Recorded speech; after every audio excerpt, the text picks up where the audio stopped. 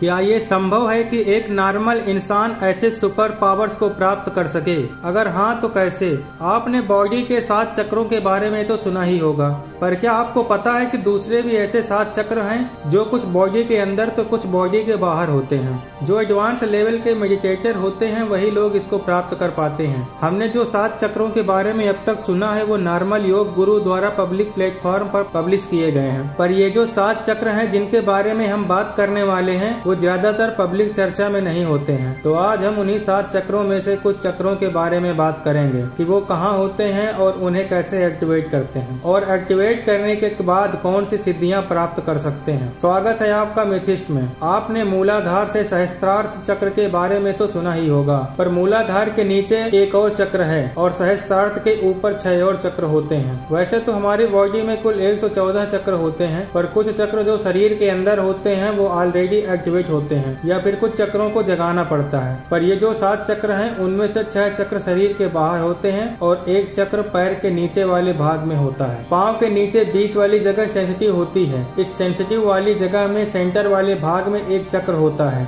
जिसे अर्थ स्टार चक्र कहते हैं। वैसे तो दोनों पैर में चक्र होते हैं पर पुरुष में लेफ़्ट और स्त्री में राइट पैर में ज़्यादातर एक्टिवेट होता है। सहस्त्रार्थ के ऊपर वाले चक्र हैं, soul star chakra, stellar gateway chakra, divine gateway chakra, universal gateway chakra, cosmic gateway chakra transcendent gateway chakra. आज हम दो चक्रों के बारे में बात करने वाले हैं, अर्थ स्टार चक्र और सोल स्टार चक्र। सबसे पहले बात करते हैं अर्थ स्टार चक्र के बारे में। ये पूरा ब्रह्मांड पंचभूत तत्व से बना हुआ है और पंचभूत तत्व अलग अलग ऊर्जा से बने हुए हैं। ये अलग अलग ऊर्जाएँ हमारे आसपास ही होती हैं, पर हम उन्हें अनुभव नहीं कर पाते हैं। इस चक्र का बस यही काम होता है कि धरती की ऊर्जा को हमारे शरीर में चक्र के माध्यम से दाखिल करना। आपने कभी अनुभव किया होगा कि अगर हम खुले पाँव गार्डन में या समुद्र किनारे चले तो अलग से ऊर्जा का एक फ्रेश अनुभव हमें होता है। और धीरे धीरे हमें नेचर की सुगंध और थोड़े समय के बाद थोड़ा सा टेस्ट भी हमें महसूस होता है। धरती की ऊर्जा पाँव के चक्र अर्थ स्टार से एंटर होती है और वो धीरे धीरे ऊपर की ओर उठती है। ऊर्जा जैसे मूलाधार चक्र में प्रवेश करती है,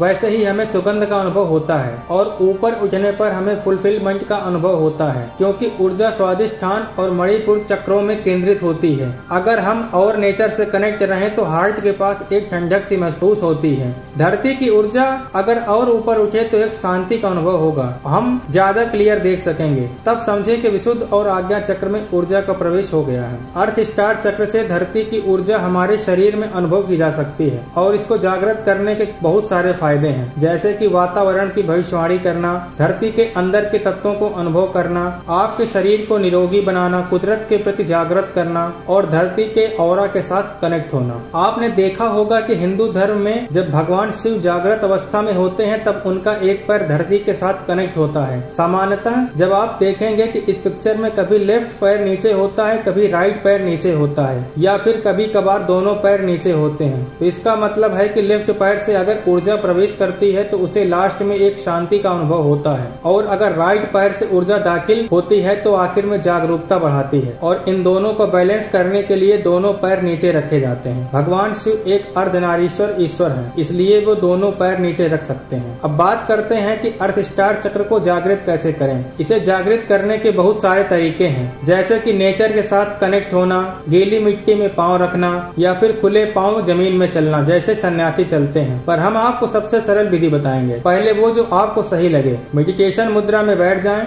उसके बाद अपने पाँव के पास एक दिया जलाएँ। ध्यान रखें कि दिया वही पाँव के पास होना चाहिए, जिसे आप एक्टिवेट करना चाहते हैं। फिर थोड़ी देर सांसों पर ध्यान दीजिए और फिर थोड़ी देर बाद पाँव की संवेदनशील सपाटी पर ले जाएँ। आपको दिए की गर्माहट थोड़ी सी महसूस होगी। अपना ध्यान बस वहीं पर बनाए रखें। थोड़ी देर बाद आपको अनुभव होगा कि दिए की आग की एनर्जी आपके पाँव के माध्यम से आपके शरीर में दाखिल हो रही है। और पाँव के बीच में जहाँ पर अर्थ स्टार चक्र है, वहाँ पर धीरे धीरे कोई सुई की नोक चुभ रही होगी। वैसा अनुभव आपको होने लगेगा। बस इसे 45 दिनों तक लगातार करें। 45 दिनों तक लगातार होने के बाद आपके विचारों और अनुभवों में बदलाव आने लगेंगे। तब समझ जाइए कि अर्थ स्टार चक्र एक्टिवेट हो चुका है और उनका जो भी प्रभाव हो रहा है, वो आपको अनुभव होने लगेगा। अब बात करते हैं सोल स्टार चक्र के बारे में। माना जाता है कि सोल स्टार चक्र क्राउन चक्र के ऊपर छह या तो फिर आठ इंच ऊपर रहता है। इसे सोल सिटिंग चक्र भी बोलते हैं, जहाँ पर हमारी आत्मा बैठती है। इस चक्र के बारे में ज़्यादातर पब्लिक प्लेटफॉर्म में नहीं बताया जाता, क्योंकि ये चक्र चक्र इतनी सिद्धि आपको दे सकता है कि आप इस दुनिया में सुपर ह्यूमन बन सकते हैं। पर साथ में डेंजेरियस भी उतना ही होता है। जो बात वीडियो के एंड में हम आपको बताएँगे। सबसे पहले बात करेंगे इसके पावर्स के बारे में। पहला spiritual connection soul star chakra activate होने से हायर डिवाइस डायमेंशन एक्टिवेट हो जाता है। और उसके साथ हमेशा एक कनेक्शन बना रहता है। उदाहरण के तौर पर समझिए कि आप जो भी ईश्वर को मानते हैं या फिर कोई भी देवी देवता को तो फिर उसका अंश स्वरूप आपको महसूस होने लगेगा। अगर कोई अल्लाह को मानता है तो उसे अल्लाह महसूस होंगे। अगर कोई शिव को मानता है तो उसे शिव महसूस होंगे।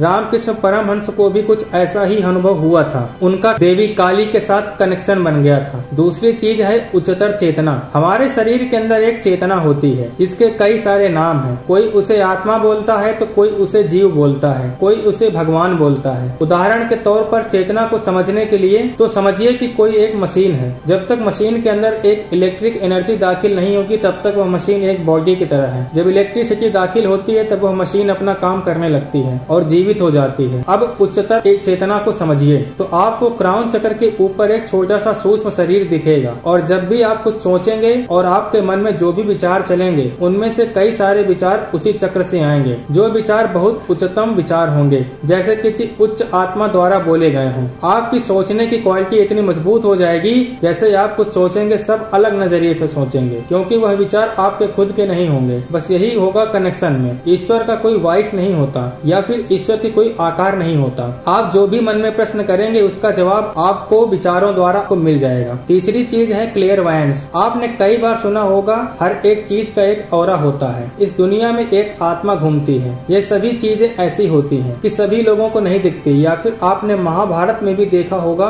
कि अर्जुन को भगवान का विराट रूप जब देखना था, तब वे अपनी नॉर्मल आँखों से नहीं देख पा रहे थे। इसलिए भगवान कृष्ण ने अर्जुन को दिव्य दृष्टि प्रदान करी थी। अब इसे अगर यौगिक साइंस की नज़र से देखें तो हाँ ये संभव है कि अगर आपके पास ये सिद्धि हो तो किसी और इंसान के अंदर ये शक्ति ट्रांसफ़र कर सकते हैं। कुछ क्षण के लिए, जैसे गुरु अपने शिष्य को शक्ति पात देकर करते हैं। जब मानवीय शरीर में दिव्य दृष्टि जागृत हो जाती है, तब हम दिव्य आत्मा भी देख सकते हैं। सभी इंसान के और को देख सकते हैं, और हम देख कर निर्णय ले सकते हैं कि उस इंसान की नियत क्या है। क्लियर एक आध्यात्मिक और पहला बोलित लॉजिकल गुण है। इसमें एक व्यक्ति के दूसरी की बातों को सुनने देखने महसूस करने की क्षमता होती है जो उनके साधारण इंद्रियों से बाहर होती है। यह एक अद्भुत और अस्वाभाविक क्षमता होती है जिसमें व्यक्ति दूसरे की मन की भावनाएँ अभिप्रेत या फिर गतिविधियों को जान सकता है। अब चौथी चीज़ है क्लियर ऑडियंस जब सोल स्टार चक्र एक्टिवेट हो जाता है तब हमारे कानों की सुनने की सेंसिटिविटी एक्टिव हो जाती है। और हम ऐसी ध्वनि को सुन सकते हैं कि कोई नॉर्मल इंसान उसे नहीं सुन पाता। जनरली हमारे सुनने की फ्रिक्वेंसी 20 हर्ट्ज से लेकर 20,000 हर्ट्ज तक होती है। उनके ऊपर और नीचे की फ्रिक्वेंसी हम नहीं सुन पाते।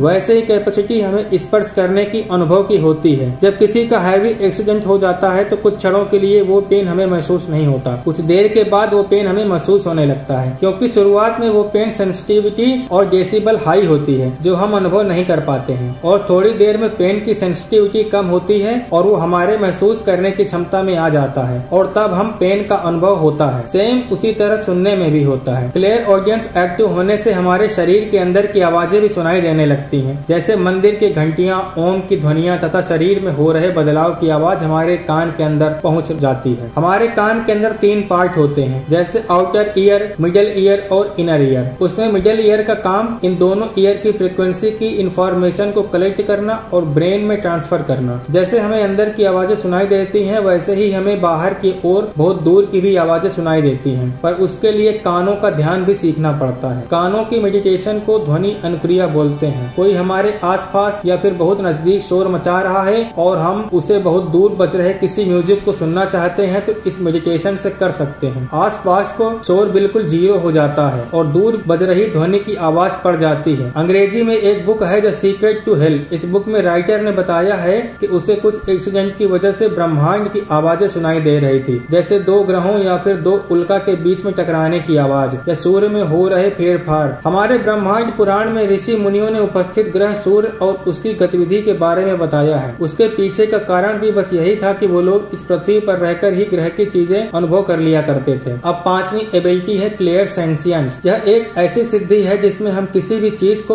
उच्चतर माध्यम से अनुभव कर सकते हैं, सूंघ सकते हैं और हमारे इंद्रिय का अनुभव बहुत ही उम्दा प्रमाण में बढ़ा सकते हैं। अगर कोई गर्म चीज़ है जैसे गर्म लोहा और हमारा शरीर ठंडा है, अगर हम उस लोहे पर अपना अपना हाथ या फिर पाँव भी रखें तो हमारा शरीर उसकी उष्मा को हमारे शरीर में ऑब्ज़र्व कर लेता है। जैसे कि हीट एक्सचेंज मेथड जैसे कि हिमालय की ठंड में और तापमान शून्य से नीचे हो और सूर्य के सामने हाथ करें और सूर्य की ऊर्जा को ऑब्ज़र्व करें तो हमारे शरीर में उच्चतर प्रमाण की गर्मी पैदा हो सकती है। जैसे बर्फीले तापमान में शरीर में पसीना बन जाए, शायद एक कारण हो सकता है हिमालय में योगी बिना कपड़ों के भी रह सकते हैं। दी ऑटोबायोग्राफी ऑफ़ यौगिक बुक में बताया गया है कि कोलकाता के एक गुरु थे, जो हाथ से या फिर शरीर के किसी भी भाग से एक सुगंध बना सकते थे। इसके पीछे का विज्ञान बस यही है कि जैसे हम किसी भी चीज़ से ऊर्जा ऑब्ज़र्व करके, उसे एकत्रित करके किसी के शरीर के किसी भी भाग में जमा कर सकते हैं और उसे महसूस कर सकते हैं। वैसे ही किसी भी सुगंध की कल्पना करके या फिर भौतिक दुनिया से सुगंध को सुनकर अपने शरीर के कोई भी भाग पर एकत्रित कर सकते हैं। तो मैं आपको एक मेथड सिखाता हूँ। उसमें आप ऊर्जा का एक अंश मात्र अनुभव कर पाएँगे। दूसरी चीज़ है ऊर्जा और वाइब्रेशन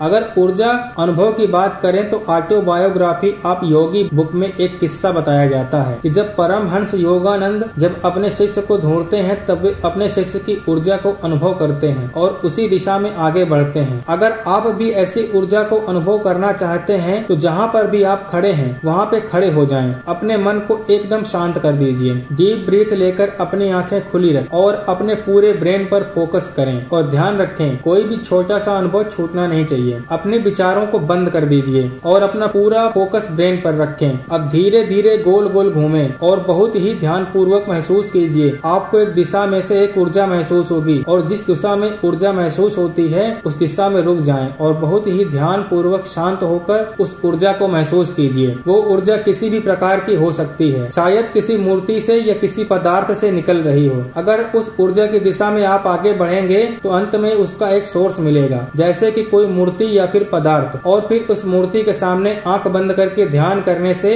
आपको एक वाइब्रेशन महसूस हो सकती है। अक्सर आपने देखा होगा, जो बड़े बड़े मंदिर होते हैं, वहाँ पर अक्सर ऐसी ऊर्जा और वाइब्रेशन महसूस होती है। पर कभी कभार ऐसे ऊर्जा हमें गूज बम्स दे जाती है। पुराने समय में राजा महाराजा शास्त्र की मदद से एक ऐसे मंदिर का निर्माण करते थे कि वहाँ हमेशा एक ऊर्जा का प्रवाह निकलता रहे। अगर कैलाश गए हैं तो कभी तो ये बात आप अच्छी तरह से महसूस कर पाएँगे। अब छठवीं एबिलिटी है टेलीपैथी। जब भगवान शिव ने सप्तऋषि को ज्ञान दिया था, तब बिना बोले मौन रहकर दिया था। आज के जमाने में हम सोचेंगे तो लगेगा कि ये कैसे संभव हो सकता है, पर यह संभव है। उसके लिए आपका उम्दा प्रमाण का योगी होना बहुत ज़रूरी है। जब भगवान शिव इस धरती पर आए, तब वो ध्यान पर बैठे और नगर में से काफ़ी लोगों की भीड़ जमा हुई। सभी लोगों को लगा ये योगी कोई चमत्कार करेंगे, पर शिव ने ऐसा कुछ भी नहीं किया और वो स्थिर बैठे रहे। धीरे धीरे वहाँ से लोग उठकर चलने लगे। काफ़ी दिन बीत गए, जो हज़ारों की भीड़ थी, अब वहाँ पर कुछ गिने चुने लोग ही बचे थे और कुछ महीने के बीतने के बाद सिर्फ़ सात लोग बचे गए। जो शिव के सामने बैठे हुए थे, वह भी मौन थे और शिव भी मौन थे। फिर भी कहा जाता है कि शिव ने सप्तर्षियों को महायोगी बनने की शिक्षा दी थी। अब एक बात समझे कि हमारे हिंदू धर्म में जो भी कथा बताई गई है, वो कथा कोई मनोरंजन के लिए नहीं बताई गई है। अगर हम योगिक परस्पेक्टिव से देखें तो हर एक कथा हमें कुछ न कुछ लॉजिक बताती है। उदाहरण के तौर पर समझे तो रामायण में हनुमान जी ने अपने शरीर को सूक्ष्म बनाया था। तो यह कथा को अगर हम यौगिक पर्सपेक्टिव से देखें तो आपने सुना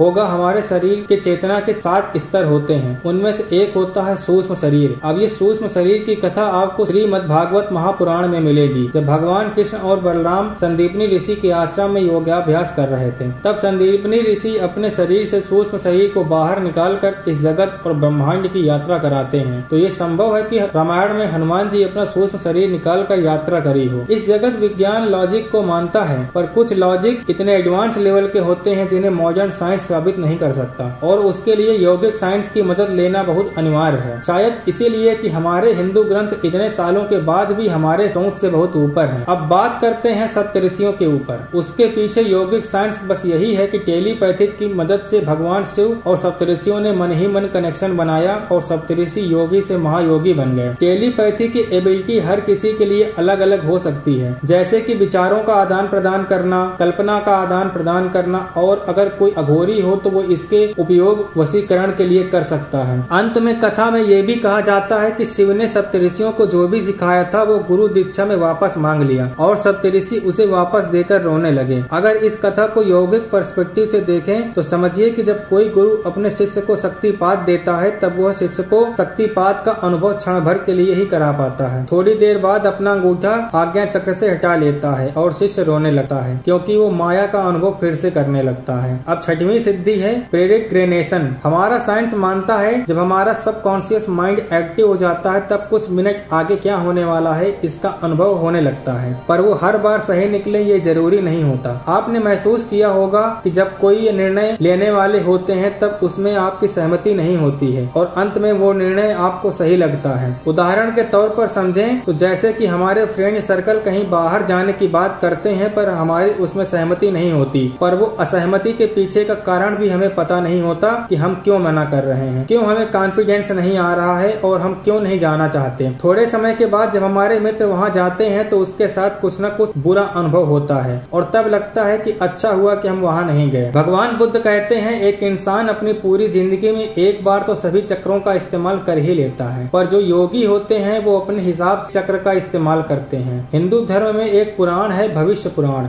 अभी रिसेंटली हो रहे इवेंट उसमें मेंशन किया गया है, जैसे कोविड वर्ल्ड वार और कौन सा देश कब सत्ता पर होगा। तो इस बात से हम साबित कर सकते हैं कि भविष्य पुराण लिखने वाले जो ऋषि मुनि थे, उनमें ये सिद्धि हो सकती है कि वो भविष्य का अनुभव कर सकें। जैसे हम कुछ क्षणों का अनुभव कभी कभार कर लेते हैं, शास्त्र में एक श्लोक है आत्मनम तेहस विश्वास इसका मतलब ये है कि अपनी चेतना पर विश्वास करो। चेतना हमेशा तुम्हें आनंद ही देगी, क्योंकि मानवीय चेतना ईश्वर का रूप है और ईश्वर कभी दुख नहीं देते। ये चेतना ही है जो हमारे साथ कम्युनिकेट करती है और हमारे विचारों के माध्यम से हमें रास्ता दिखाती है। अभी के जमाने में एक ट्रेंड चल रहा है नेवर गिव अप अगर मनुष्य चेतना बोल रही है, इस काम को मत करो तो फिर मत करो। उस काम को सम्मान करो। कि मनुष्य में मनुष्य चेतना से बड़ी कोई ताकत नहीं होती। अगर चेतना की नहीं सुनोगे और नेवर गिव अप वाली थ्योरी के साथ पकड़ के मानवीय चेतना को अजर बना दोगे तो फिर हमेशा उल्टे ही रिज़ल्ट मिलेंगे। पेरेग्रेनेशन एबिलिटी बस यही है कि जब तुम उसके सुनने लगते हो, तब वो ज़्यादा प्रभावशाली हो जाती है और तुम्हें निर्णय लेने में हर पल मददगार करती है। और इसके जागृत करने के दो तरीके हैं। एक है सोल स्टार चक्र पर मेडिटेशन करना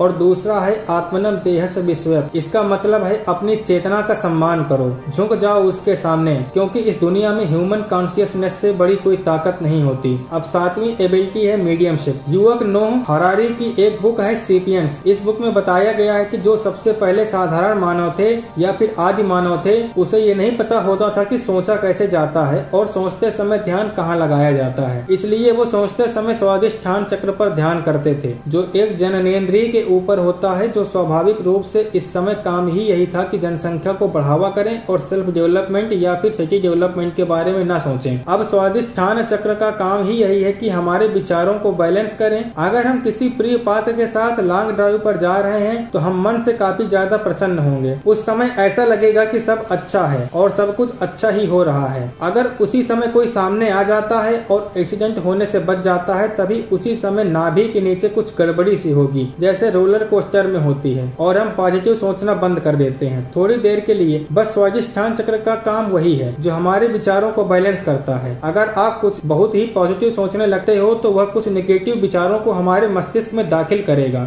जिसके प्रभाव से आप कुछ बैलेंस अनुभव करेंगे और दोनों बाजू से विचार करने पर मजबूर हो जाएँगे। अब जो बुक पर माध्यमानव मेंशन किए गए हैं, उन्हें ये पता नहीं होता था कि कुछ विचार करते समय आज्ञा चक्र पर ध्यान दिया जाता है। वो ज़्यादातर स्वादिष्ठान चक्र पर ध्यान करके सोचते थे और हमेशा निगेटिव रिज़ल्ट ही पाते थे। अगर इसका प्रमाण देखें तो एंशियंट सिविलाइजेशन में कुछ ऐसी मूर्तियों का निर्माण किया हुआ है, जो देखने में काफ़ी नकारात्मक और डरावनी दिखाई देती है। बस उसके पीछे का कारण यही है की मूर्ति बनाने वाले स्वादिष्ठान चक्र से सोचते थे और अपनी नकारात्मक मूर्ति के माध्यम से दिखाते थे, जिसे कुछ लोग अभी राक्षस दानों या असुर बोलते हैं। अब देखिए अलग अलग चक्र के गुण होते हैं। अगर हम आज्ञा चक्र पर ध्यान करें और सोचे तो हमें अतिशय लॉजिकल विचार आएँगे। अगर हम गले पर ध्यान करें, यानी कि विशुद्धि चक्र तो हमें शांति का विचार ही आएँगे। अगर हम सेक्स के विचार करते हैं तो हमारा ध्यान चला जाएगा मूलाधार में। ऐसे ही 114 चक्र होते हैं, और मनुष्य विचारों की श्रेणी भी 114 ही होती है। मनुष्य इन 114 श्रेणी के बाहर की श्रेणी के विचारों के बारे में सोच ही नहीं सकता।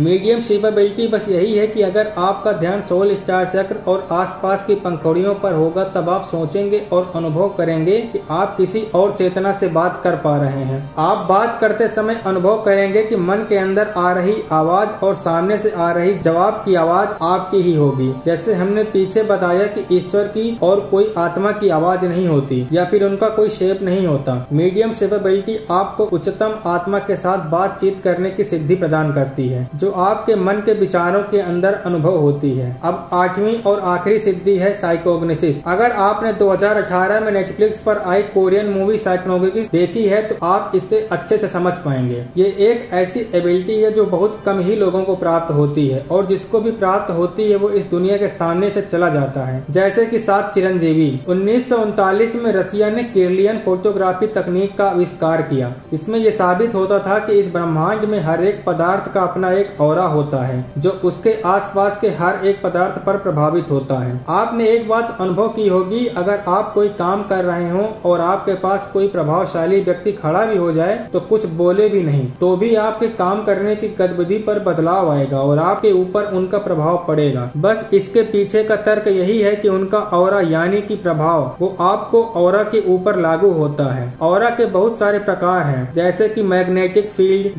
gravitational field mechanical field thermal field chemical energy field radiant field nuclear field potential field kinetic field और साउंड फ़ील्ड अगर हर एक फ़ील्ड के बारे में बात करें तो यह वीडियो बहुत लंबा चलेगा। इसलिए बात करते हैं मेन टॉपिक के ऊपर। उदाहरण के तौर पर समझें तो पृथ्वी सूर्य के मैग्नेटिक फ़ील्ड के प्रभाव से परिभ्रमण करती है। अगर दो मैग्नेटिक फ़ील्ड एक दूसरे के साथ कनेक्ट हो जाएँ और उनमें से प्रभावशाली या फिर बलशाली मैग्नेटिक फ़ील्ड है, वो दूसरे मैग्नेटिक फ़ील्ड के परमाणुओं को कंट्रोल कर सकता है और उनको अपने इच्छा के अनुसार हिला भी सकता है। आपने हिंदू धर्म पर बनी कुछ सीरीज़ में देखा होगा कि उस समय के राक्षस भी बिना छुए चीज़ों को हिला सकते थे और उसे अपने मन से कंट्रोल कर सकते थे। अगर देखा जाए तो उस समय के राक्षस भी हमारे से भी ज़्यादा शक्तिशाली और सिद्धि प्राप्त करने वाले रहे होंगे। पर उन्होंने अपनी शक्ति का प्रयोग अपने फ़ायदे के लिए किया। इसलिए वो राक्षस कहलाए और कुछ लोग इस सिद्धि का प्रयोग अपने अच्छे काम के लिए किया और वो भगवान कहलाए। जैसे वीपन्स आर्मी के पास भी होते हैं और आतंकवादी के पास भी होते हैं, पर उपयोग अलग अलग होता है। मीडियम सेपेबिलिटी के बहुत सारे फ़ायदे हैं, जैसे कि किसी चीज़ को बिना छुए कंट्रोल करना स्पीड के साथ यात्रा करना तथा वातावरण के साथ तालमेल बनाकर सफ़र करना। अब जानते हैं कि ये सिद्धि प्राप्त कैसे होती है? पुराने समय में शिष्य इसे गुरु के निर्देशानुसार प्रयोग करते थे, और हम भी वही सजेस्ट करना चाहेंगे, ये सिद्धि सुनने में जितनी अच्छी लगती है, उतनी ही कीमत चुकानी पड़ती है। इसे प्राप्त करने में कृपया इसे गुरु के निर्देश के बिना अप्लाई न करें। सबसे पहले शिष्य एक मेडिटेशन मुद्रा में बैठता है के चारों बाजू और एक गुरु और एक अनुयायी होते हैं। तो ध्यान के समय मंत्र और उच्चार और श्लोक का काम करते हैं। इसके पीछे का कारण बस यही है कि उदाहरण के तौर पर समझें तो अगर हम किसी गहरे समुद्र में डुबकी मारते हैं और अगर हम बहुत ही गहरे चले जाते हैं तो वापस आने के लिए एक रस्सी का बांधना बहुत ज़रूरी होता है। जो रस्सी ऊपर सपाटी पर चल रही मेन बोट पर हो। जब भी ऐसी कोई इमरजेंसी सिचुएशन आ पड़े तो वो रस्सी के सहारे उस गहरे समुद्र से बाहर निकल सके और अपने प्राणों को बचा सके। शिष्य अपनी साधारण ध्यान के मुद्रा में बैठकर ध्यान की स्थिति में दाखिल होता है और दाखिल होने के बाद वो अपने मूलाधार चक्र पर ध्यान करेगा और मूलाधार चक्र को जागृत करने का मंत्र भी उच्चारण करेगा। साथ साथ आसपास गुरु और अनुयायी बैठे हैं। वो गुरु के निर्देश के अनुसार मंत्र उच्चारण करेंगे। अब मूलाधार में इतनी सांस भरी जाती है, पूरी बॉडी नीचे की ओर वाइब्रेट करने लगती है। मूलाधार से ऊर्जा फटकर बाहर आ जाती है। इसे कुछ उदाहरण से समझें कि कोई गुब्बारा है। इसे गुब्बारे के अंदर हवा भरी हुई है। अगर उसमें से हवा बाहर निकाल लें तो दो रास्ते हैं। या तो उसे कोई नुकीली चीज़ लगाकर फोड़ दो, या फिर उसमें और ज़्यादा हवा भरो। इतनी हवा भरो कि गुब्बारा फट जाए और अंदर की सब हवा बाहर को फेंक दे। बस कुछ ऐसा ही होता है मूलाधार चक्र में। हमारी शरीर की सारी ऊर्जा जिसे कुंडलिनी शक्ति बोलते हैं, वो मूलाधार के अंदर स्थापित होती है। पर इसे हम सुई चुभाकर बाहर तो नहीं निकाल सकते, क्योंकि ये सभी चक्र विद्युत ऊर्जा से बने हुए होते हैं, जो विचार निर्देश के अनुसार काम करते हैं। इसलिए इसके अंदर हमें इतनी हवा भरनी पड़ती है कि इसकी क्षमता ही पूरी हो जाए, उसे स्टोर करने की, और गुब्बारा सब ऊर्जा बाहर निकाल जाए, और ये काम अकेले शिष्य से नहीं हो सकता। इसलिए चारों तरफ़ एक वर्तुलाकार गुरु के साथ सभी मूलाधार मंत्र का उच्चारण करते हैं। उनके बाद जो होता है वो बहुत गंभीर ध्यान होता है। इस ध्यान के साथ शिष्य आँख नहीं खोल सकता, बस उसको दिए हुए कुछ निर्देश का पालन ही करना होता है। जब ऊर्जा बाहर निकल जाए, तब ऊर्जा ऊपर उठती है और स्वादिष्ठान चक्र से गुजरती है। इस समय के दौरान हमें इतना ज़्यादा डर महसूस हो सकता है कि जैसे कोई हारर मूवी वास्तविक में चल रही हो। बहुत ही निगेटिव आवाज़ें सुनाई देती हैं, बहुत ही डरावना अनुभव हो सकता है। तब शिष्य आँख न खोले, इसलिए स्वादिष्ठान को शांत करने के लिए गुरु को और उनके अनुयायी स्वादिष्ठान मंत्र का उच्चारण करेंगे।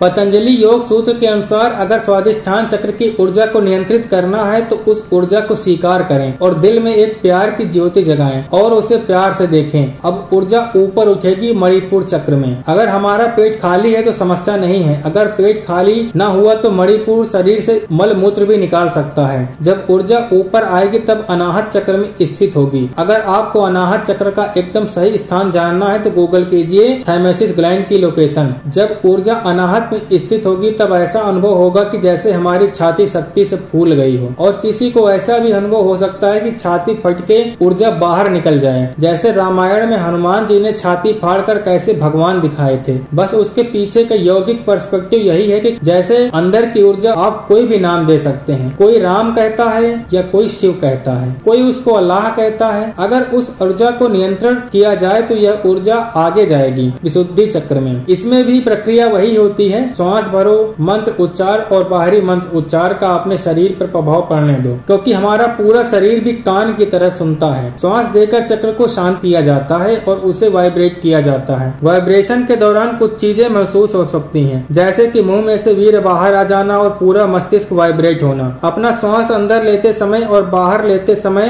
हम का उच्चारण करना है। और ये यौगिक प्रक्रिया हमने खुद प्रयोग की हुई है और शास्त्र से भी कुछ जानकारी प्रमाण के तौर पर ली है। आगे गुरु मंत्र को सुनते जाना है और अंत में इतनी शांति का अनुभव हो सकता है कि आपने पूरे जीवन में कभी महसूस की न हो। हिंदू धर्म में भगवान शिव की एक प्रतिमा है, जिसे नीलकंठ महादेव बोलते हैं। इसके पीछे का यौगिक साइंस वही है, जो नीले रंग गले पर दिखाया जाता है, वह बहुत ही ठंडा और बहुत ही उम्दा शांति का प्रतीक है। अब यहाँ पर शिष्य के पास दो विकल्प होते हैं। अगर वो डर गया तो ध्यान से बाहर भी आ सकता है, या फिर आँखें बंद करके आगे भी जा सकता है, क्योंकि हर कोई इस अनुभव को झेल नहीं पाता है। इसलिए ही यह प्रक्रिया पब्लिक प्लेटफॉर्म पर नहीं मिलती। पब्लिक प्लेटफॉर्म पर ज़्यादातर व्यापार की दृष्टि से ही सब सिखाया जाता है। कुछ ही गिने चुने स्मृति शास्त्र हैं, जैसे कि हठ योग प्रदीपिका, जो समाधि से भी ऊपर के चक्र के बारे में बोलती है, पर उसमें भी इतना डिटेल्स में नहीं बताया जाता है। अब शिष्य अगर आगे जाए तो शांति के अनुभव के बाद ऊर्जा स्थापित होगी अजना चक्र में। जैसे आगे हमने बताया कि कान के तीन भाग होते हैं, बाह्य, आंतरिक और मध्य। इसी तरह आज्ञा चक्र के भी तीन भाग हैं, जो भागवत गीता में श्री कृष्ण ने अर्जुन को बताया था कि अगर बाहर की दुनिया के बारे में समझना है तो अपने नाक की टोक पर ध्यान दो। अगर आंतरिक दुनिया के बारे में समझना है तो आँखों के बीच में, अंदर वाले भाग में ध्यान दो। स्वामी विवेकानंद ने अपनी पूरी ज़िंदगी नाक की टोक वाली भाग में ही ध्यान दिया और वो उसके आगे कभी बढ़ नहीं पाए। एटलीस्ट स्वामी विवेकानंद समाधि को भी प्राप्त नहीं हुए। समाधि के आगे महासमाधि और दूसरे अनुभवों की बात करें तो बहुत दूर है। भगवान श्री कृष्ण एक गुरु है और हमें गुरु हमेशा रास्ता दिखाता है, चलना हमको ही पड़ता है। जैसे एक आंतरिक आज्ञा चक्र पर ध्यान करते हैं धीरे धीरे हमारा ध्यान चला जाता है पिनाइल ग्लैंड के ऊपर, और समय आप अपनी ऊर्जा को देख सकेंगे, और ऊर्जा इस प्रकार दिखाई देगी कि एक बहुत ही शक्तिशाली बालक की जिसके पास बहुत सारी शक्ति आ गई है और सब कुछ तबाह करने के लिए तैयार है। फिर बहुत ही अशांत है, जैसे हनुमान जी अपने बचपन में थे। फिर शिष्य इस ऊर्जा को डीप ब्रीथिंग से शांत करेगा और श्वास बाहर निकालते समय इस मंत्र का बाहर से उच्चारण करेगा।